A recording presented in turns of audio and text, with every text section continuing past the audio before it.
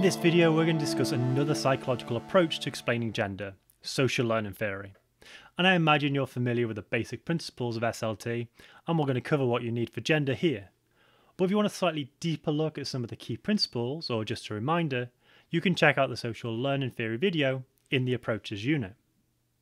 The specification also asks us in this area to consider the impact of culture and media on gender.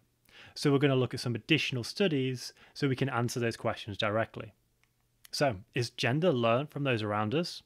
Let's find out. Psychboost.com, over 170 videos to help you with your qualification, and Patreon supporters can access bonus resources, tutorial videos, and the Discord channel. Social learning theory as applied to gender development. Social learning theory is a combination of cognitive and behaviourist ideas. Its main idea is we learn our behaviour through experience of the world, and this of course will include behaviour that is gendered.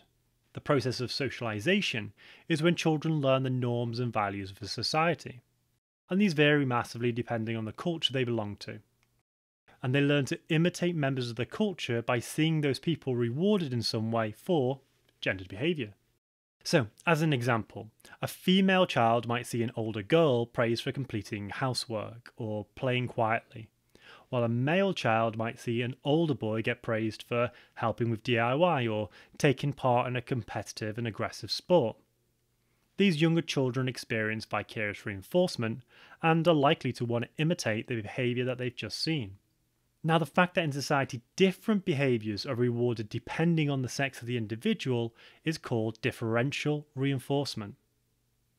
In social learning theory, we consider role models.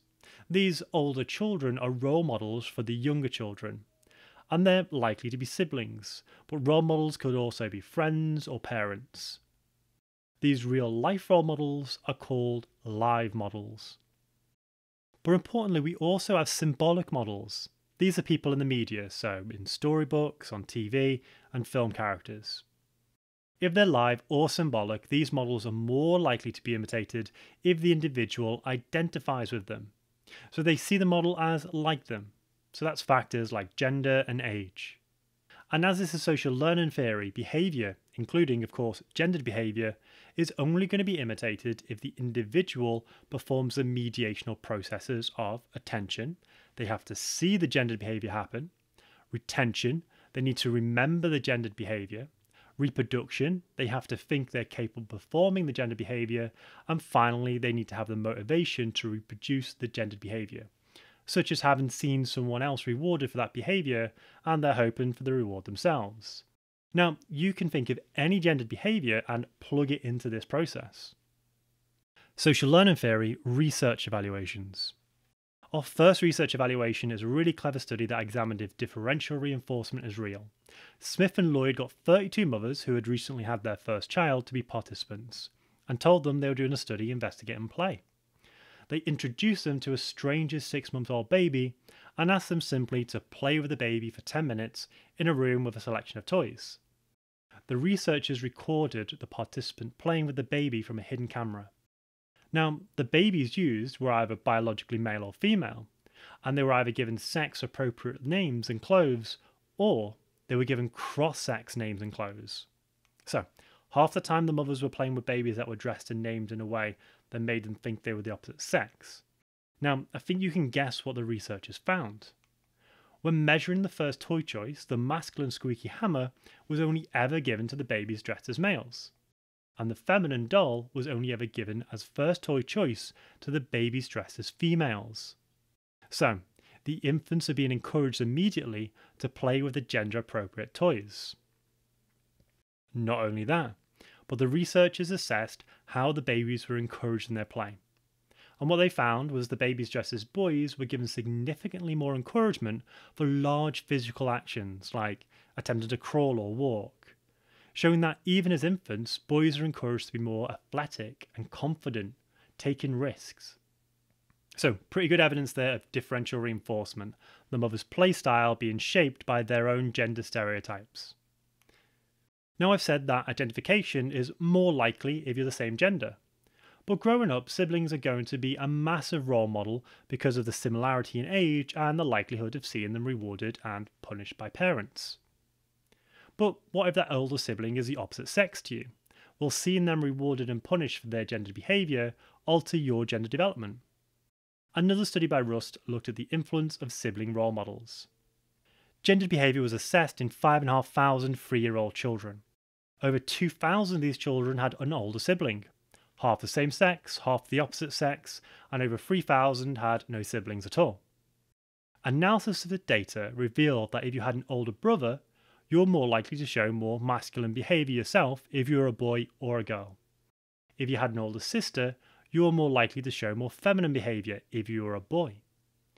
Now, this is correlational research, so there might be other factors that explain this finding but it's in line with social learning theory's suggestion that children will observe and imitate their siblings' behaviour, potentially picking up cross sex gendered behaviour. Culture and media. Now, we might need to answer questions just on culture or media's role in influencing gender roles, and we've already hinted at some things, but let's add this. The gender stereotypes that we see in each culture do vary. The socialisation that's performed by peers, teachers, and parents, so society, depends on the culture you're living in. This means that each culture's exact gender stereotypes are distinct and get passed down to each generation. We've already mentioned that symbolic models are what we see in the media, but the role of the media in people's lives and shaping values is thought to be pretty big. If normative gender roles are displayed as attractive, then we're more likely to want to imitate them. And if you think about it, what happens in movies, especially aimed at kids? Often it's the pretty princess that's rewarded by being saved by a prince and living happily ever after in a castle. A strong male superhero uses justified violence to save the day and is praised by society. Now, is watching this kind of content from an early age teaching little girls the most important thing to focus on is fitting a beauty standard and being dependent on males, while telling little boys that it's justifiable to use aggressive violence to solve your problems and the people around you will be grateful. And we can add on to this that media varies between cultures, and it's often reflection and reinforcement of that culture's beliefs. Culture and media research evaluations. So, we're likely going to need some evaluations of culture and media's role in gender development. The classic research in this area is by Margaret Mead. In the 1930s, her work on tribal communities around the world gave a view into groups of people whose cultures had developed in isolation. In New Guinea, free communities had very unusual gender roles. In the Mundugumor tribe, both genders were highly aggressive and competitive, traits usually associated with masculinity. The Arapesh had males and females showing feminine caring behaviour. And the Chambuli people had a completely reversed gender role. This culture expected females to show leadership and dominance, while males were passive, emotional, and responsible for child rearing. Now, the fact that human communities can vary so radically suggests that gender roles are a product of culture and not a fundamental biological process. Now, these next points are about the media's role in gender development, but you'll notice you can also adapt them to using a question about social learning theory or culture depending on your emphasis.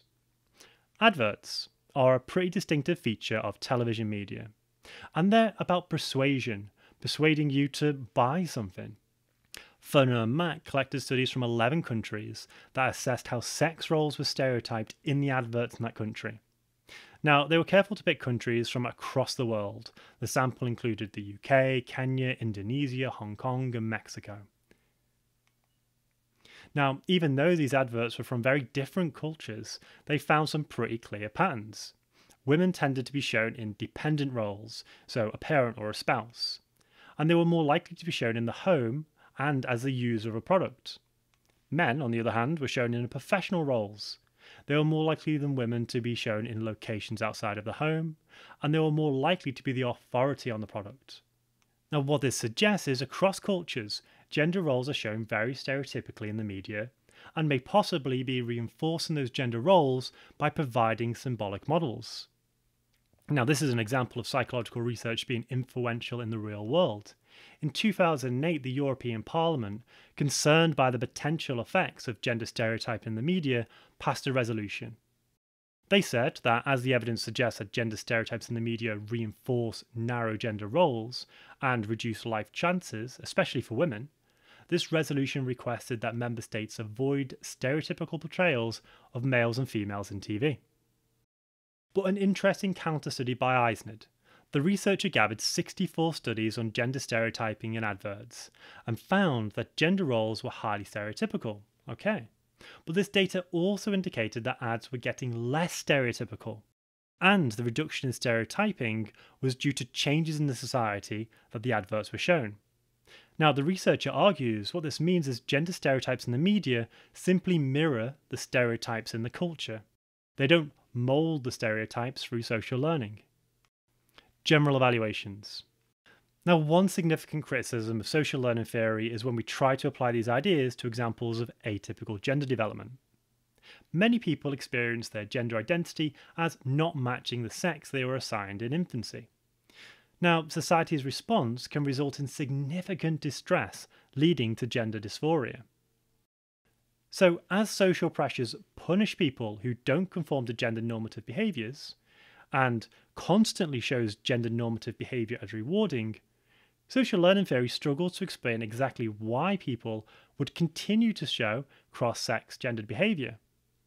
The fact that people do go on to display atypical gender development despite the social pressure might be better explained by a biological explanation of gender. And while Mead's research did show some unusual examples of gender roles, these are exceptionally rare and might have been influenced by researcher bias.